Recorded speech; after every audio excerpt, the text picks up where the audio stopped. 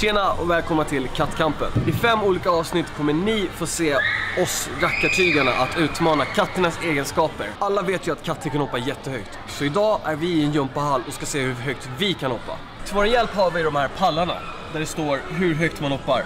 Vi börjar på 15.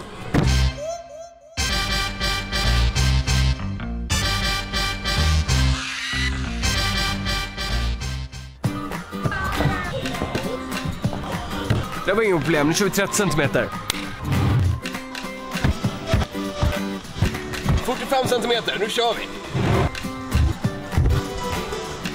60 centimeter. 75 centimeter.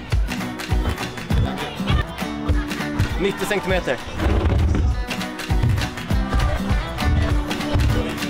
Nu börjar vi snacka. 105 centimeter. Framåt, framåt!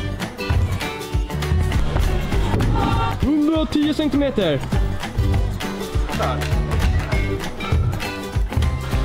Där. Nu är det 115.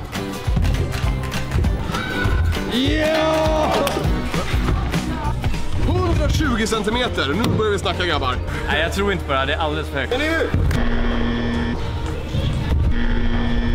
Jag önskar dig all lycka min kära vän. Martin lärde mig en gång i tiden att desto mindre kläder, desto mindre luftmotstånd. Så Kallingtekniken. Okej.